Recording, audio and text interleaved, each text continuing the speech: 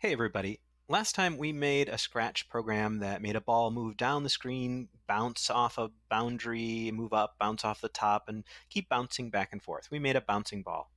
It wasn't very realistic looking, um, and uh, that's my goal today is to try to make a more realistic looking bouncing ball.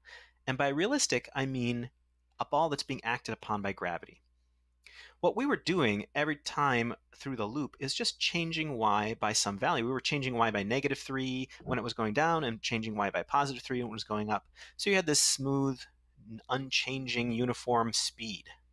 That's not how gravity works. Gravity actually accelerates uh, as the, the fall continues. So the moment you drop this ball, it's not moving, and then it starts down and gets faster and faster as it goes. So that's what we're going to try to do here. And to do that, instead of changing y by some number that's the same every time through the loop, we have to change the number by which we're changing y every time through the loop. To do that, we have to have a variable. So I'm going to make a variable called velocity. So that's going to keep track of how fast the ball is moving, and it's going to change. When we start, when we first let go of that ball, the velocity should be zero. And then we'll start um, our forever loop here. And we're going to set, actually, we're going to change the velocity by a certain amount. I'm going to pick a number here um, that is the number that physicists use to describe gravity. This is the number g. Um, and it doesn't really have a whole lot of significance here. I could choose any number and, and fiddle with other things to make this look realistic. But if I use this number, this is the number for the acceleration of gravity on Earth. If I use that, then I could change this um, if I know the number of, of the gravity on the moon, and we could have a ball that, that uh, falls as it would on the moon and so forth. So that's why I'm going to use that number. Just needs to be some negative number in this case. Okay, and then we're going to change the y position by that amount every time through the loop. So we're going to change y by velocity. All right, so let's see what happens when we run that. All right, that fell really fast, and actually, even though it's stuck there at the bottom of the screen, it kept falling, and the number kept getting bigger and bigger. We've got a couple of things going on. We don't have anything in here to make it bounce, and um, Scratch is pretty fast here, so maybe I need to put in a wait uh, to, to make this a little more visible. So I'm going to put in a wait, and one second I know would be way too big. It would uh, make a very jerky movement. I'm going to try 0.03. Let's just say 3 hundredths of a second. Okay, that seems like it might be okay. We'll fiddle with that later uh, if we need to. It's just a little bit of a, a, pause between each step so that the, the movement isn't quite as fast and we get that smooth animated effect. Now, we need to bounce. So let's put in an if statement. So if, and we're going to check if the y position is less than a certain amount. So we'll get the y position here. And we'll bounce it at negative 140 again. So if the y position is less than negative 140, we want to bounce this. And this is the, the tricky part of this, um, this code here. What happens when you bounce something? Well, the velocity, assuming it's a perfectly elastic ball, you drop it on the ground. When it hits the ground, it reverses its direction and it comes back at you just as fast.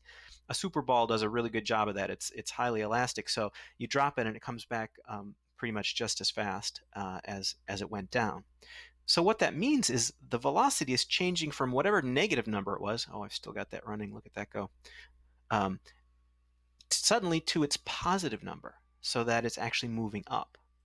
So what I want to do is take whatever velocity is at that point and change it to its positive value of that. And I can do that. There's an operator down here.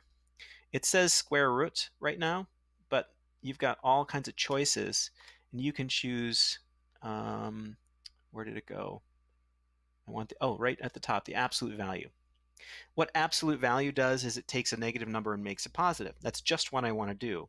I don't want the absolute value of 9 there. I want the absolute value of velocity. And what we're going to do is set velocity to the absolute value of velocity. Now, before we, run this, let's think about what's going to happen here. Um, when I was making the other ball, I, I made it bounce at the bottom and then it went all the way up to the top and didn't come down again. That's not actually going to happen here because every time through, I've still got change velocity by negative 9.8. So we're sub subtracting 9.8 from the velocity every time through the loop. So even though if it reaches the bottom, we're going to change the velocity to some bigger positive number, it's still going to keep slowing down because of gravity. Well, let's look at it and see what happens. Aha. So we get a ball that bounces. Let's try that again. Whoops.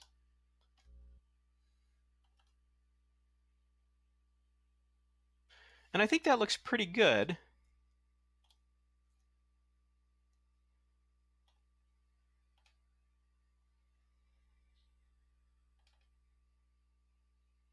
Yeah, that looks pretty realistic to me. Let's see now how this works on the moon. Uh, I looked up the moon a little bit earlier. The acceleration of gravity on the moon is negative 1.6. So we're going to just put that in. Let's watch the ball drop on the moon.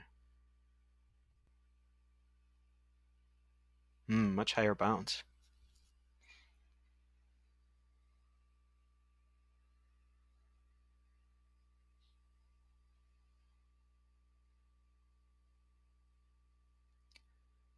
All right, and that is how to make, well, actually we've got a couple of glitches going on with this. What you'll notice is that at a certain point, it goes below the 140. We're down here at 180 now. So there's there's something odd about Scratch in this code, so that's a thing we could fix. But I'm pretty happy with this right now, because to me it looks like a pretty realistic bouncing ball.